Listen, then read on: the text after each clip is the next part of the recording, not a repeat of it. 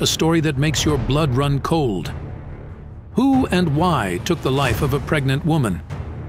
The ghost of a little girl will tell the truth. Welcome to the channel of true investigations undertaken by people who call themselves psychics. Using their superpowers, they see the past and the future and take up shocking criminal cases and mysterious secrets that will send cold shivers down your spine.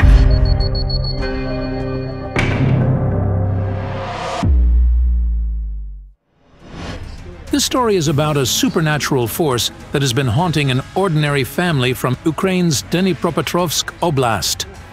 It all began after funeral wreaths mysteriously appeared at their home's gate. The gate opens, and Vitaly, my brother, comes into the yard running with scared eyes. Why are the wreaths at the gate? He asked. It was a shock. There was a round wreath over here with flowers and a black ribbon, and a basket of flowers. It was next to it.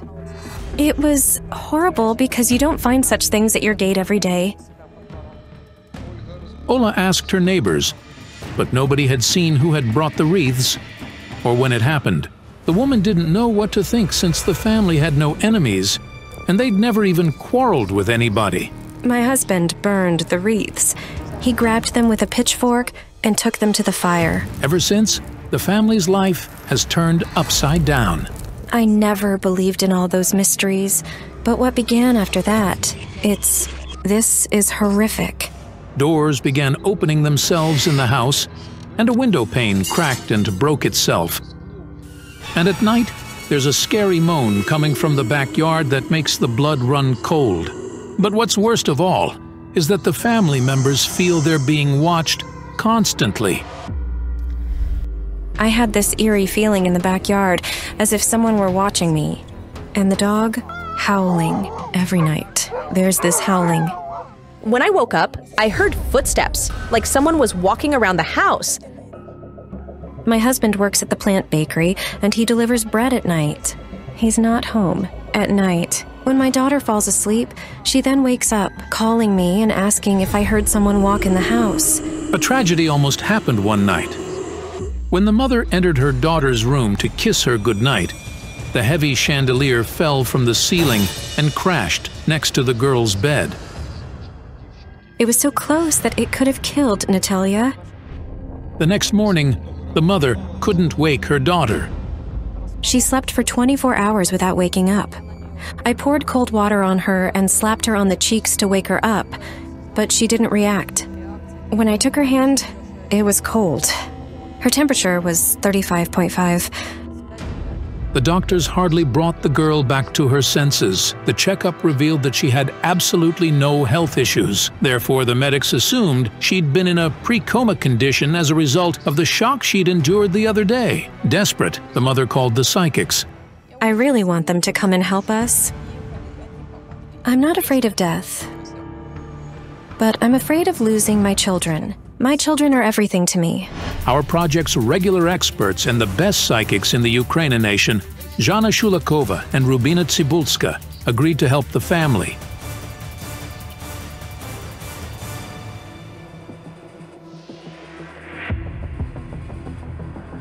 Last night, I was preparing for the meeting with Olha when I saw my late mother in a dream. I don't know why, but she was with a girl of about 10 I saw a scar on her neck. Could that girl be somehow connected to Olha? Uh, I don't know. I'd never seen her before. What if one of the wreaths was from that girl's tomb? Could it be that this is how her spirit was bound to Olha's house? That girl was strange. Cold emanated from her like she was dead. But she looked alive. My mom said, You must help her. But I don't know how I could do it.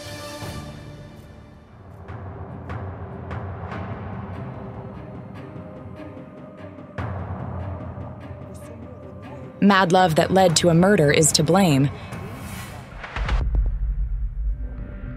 The mirror shows me a hole in the ground, although it's not a grave. And there's a woman in it. She's young and beautiful, like. Her feet are tied up. She holds her hands like this in fear. She's wearing a blue necklace. I see some woman take this necklace off her on.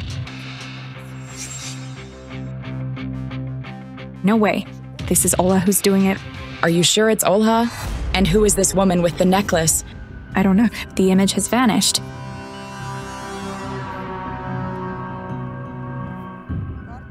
The cards say the young woman is dead. She was pregnant and she was buried alive. Dear Lord, After a while, the psychics are on site in the village where the woman lives. I beg you to help me. Please help. Some new wreaths appeared here after that.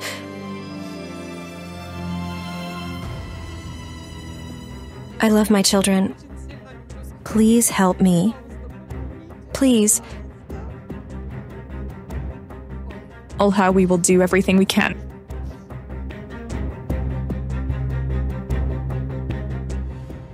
Funeral wreaths look like a jinx a lot.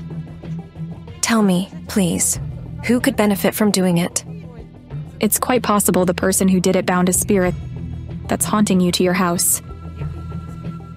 Can we work in the backyard? Of course. Come in, please.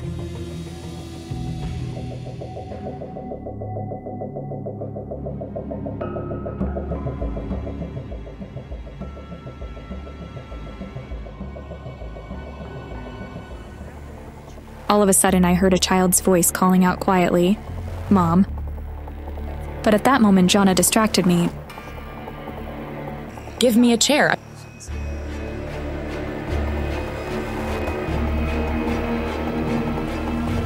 Zhana, what is that? I don't know.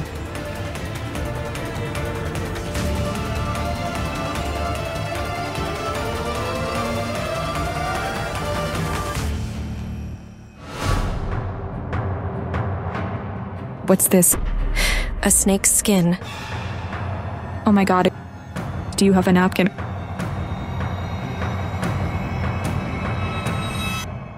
A snake skin. I can't believe it. Who could leave it here? I don't know. I, I swear, I don't know. Is it some kind of jinx? Um, It's an attribute for a ritual. Has anybody held a ritual here? It was done by someone with magic abilities. It's a man. He's young, about your age. He's somehow connected to this house.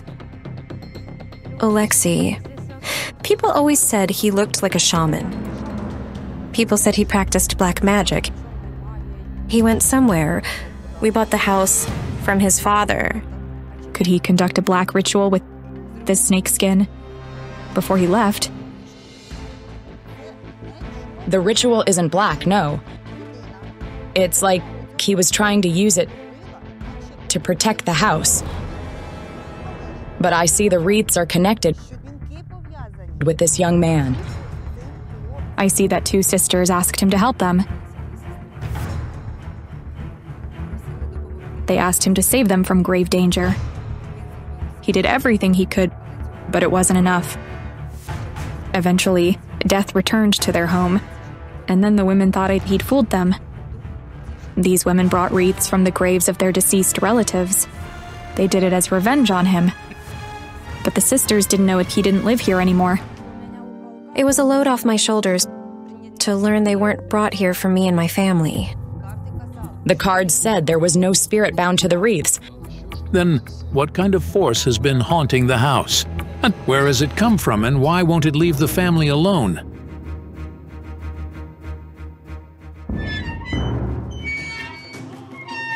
I was shocked. How had the gate been opened? You have to apply strength to open it.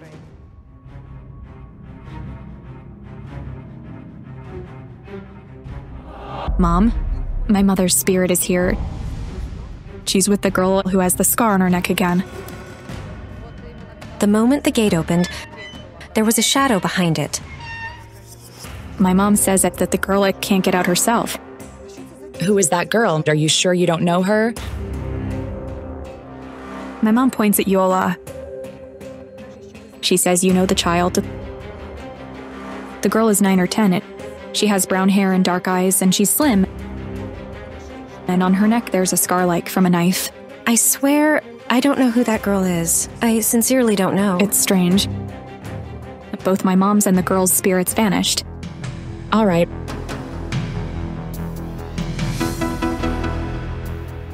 So, the force from the netherworld that's been haunting you has something to do with a murder caused by jealousy.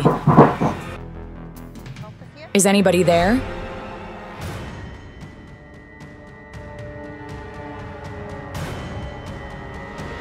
Did the sound come from here? yes, it did. I still don't understand what could have fallen there. It was like somebody from beyond wanted to draw our attention to them. Then I suddenly saw a shadow. I followed it, and what I saw there was horrific. I saw somebody's body in the field. Rubina, what is that? I see a dead girl in the hole. She's very beautiful. She's 17, and oh my god, she was buried alive.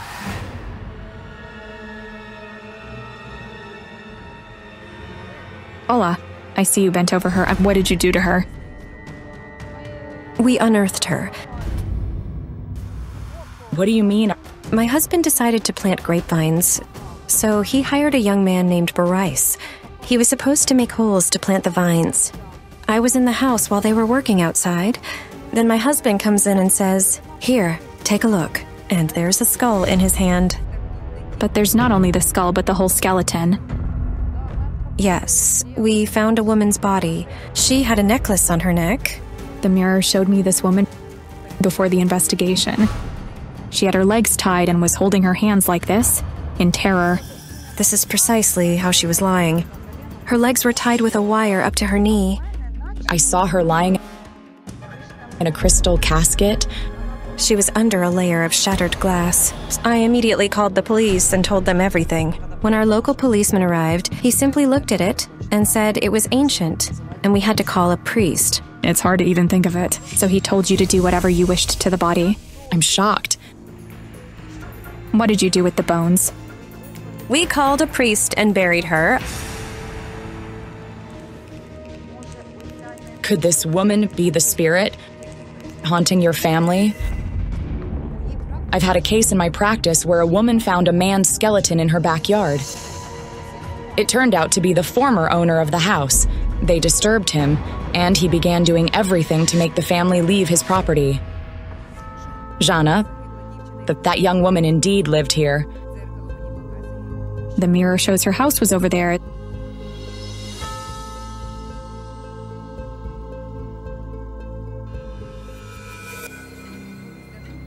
There used to be a great homestead here.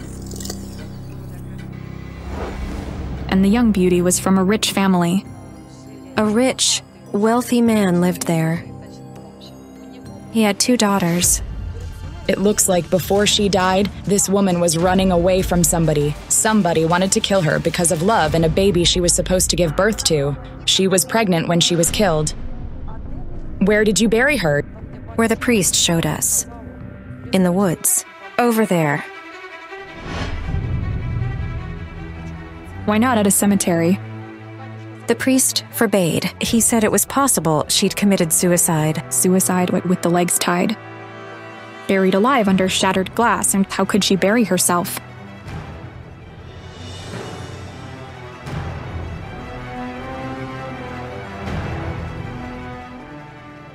Who could kill a young pregnant woman? Someone she didn't love. She was supposed to marry another man, The one her parents had chosen. You see, but she fell in love with another man. And she got pregnant. that man was poor. Here's the card of poverty. It was forbidden love. Yes, yes. My grandma told me her parents didn't want it. And soon she disappeared. Yes.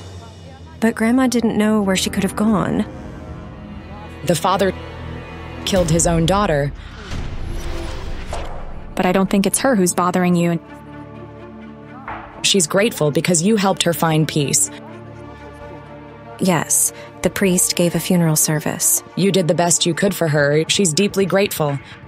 In my vision, I saw you take off her necklace. She had a bead necklace of a tenderly blue, turquoise color. We collected all the beads and put them all in. In the grave? Yes, yes. Do you hear the steps? Look. This girl, she's here. Is it this spirit from the grave? Yes. She's calling it. Does she want to help? Let's go. The woman has stopped at a house. She said the ghost that's haunting Olha came from here. Then she vanished. Whose house is this? It doesn't look to be habitable. Oh my god. I see some really terrible things in the mirror. It's showing me a young woman of about 20. She lived in this house and she was brutally murdered. She was stabbed with a knife many times.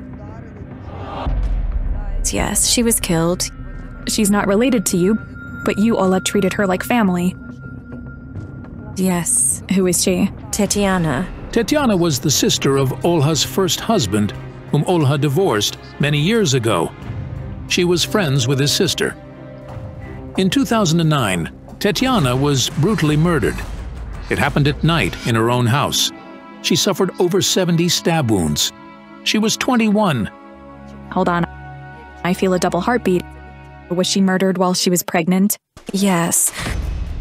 She was in her seventh month. It wasn't just shock, it was a nightmare. Tatiana was murdered after midnight. Her husband was traveling on business. Her mother, who lives nearby, found her body in the morning. She came to bring her pregnant daughter milk. Everything was covered in blood. I screamed. I saw nothing but it. The mirror shows me a good looking young woman. Fair hair, blue eyes. She looks like an angel. It was she who murdered Tetiana. She's in prison. She's fair haired and blue eyed. Inna used to live in the same village with a little daughter and a husband. The woman looked very youthful and sweet. Nobody could believe she could do something like that. The cards tell me she did it out of jealousy. Rumors said Inna was jealous of her husband's interest in Tetiana. But I don't feel there was something between Tetiana and Inna's husband. But something connected them, though it wasn't an affair. A job. Before Tetiana got pregnant, she'd worked in an engineering brigade, where Inna's husband also worked. The cards told me Inna was aggressive and cruel, and her childhood was to blame. She didn't have the love and care of her parents, so she feared she would lose the only person she loved her husband. I felt the presence of somebody who loved Tetiana a lot and blamed themselves for her death. Over there. Come over here, please. I'm her sister, Anastasia, Why do you feel guilty? because I didn't stay with her. Anastasia helped her sister and often stayed to spend a night with her. She thinks that if she'd been around that night, Tetiana could be still alive. How old were you when it happened? I was 17. Do you really believe you could have defended her? Do you realize you die together with her? Don't blame yourself, never.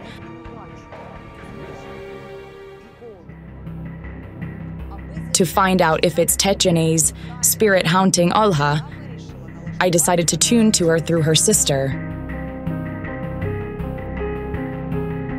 It's not Tatiana. Tatiana doesn't haunt Olha. My mom returned again. The scarred girl is with her. The girl says, My name is Maya. Maya. This is her spirit that's haunting you, Ola. Maya, It seems the victim's sister, unlike Olha, knows who it might be.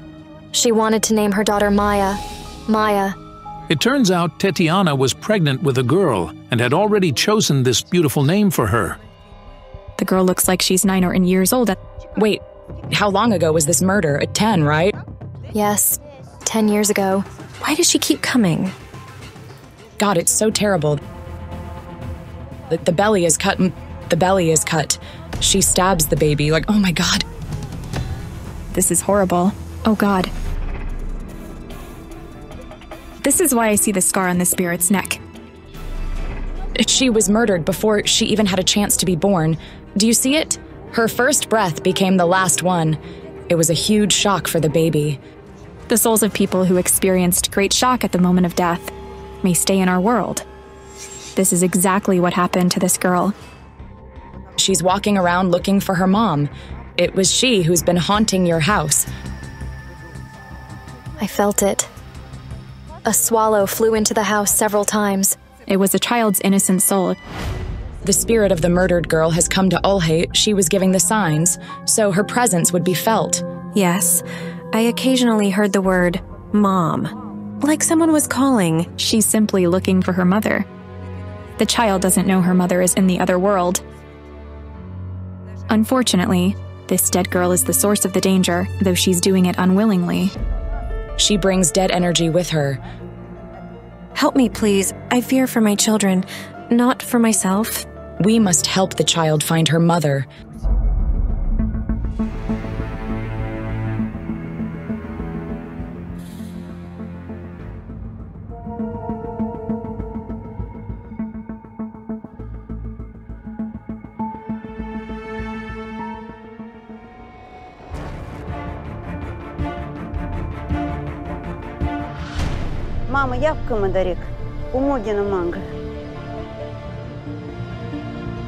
The girl's spirit is here.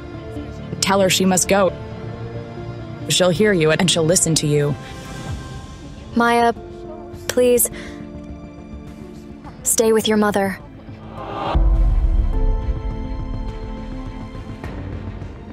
And let me go, please. Give me peace. Baby, I'm not your mother. I saw little Maya and my mother vanish. They both left, the girl and my mother. Maya is going to be all right. She'll be with her mom and they're happy to be together. I'm so grateful to you, I swear.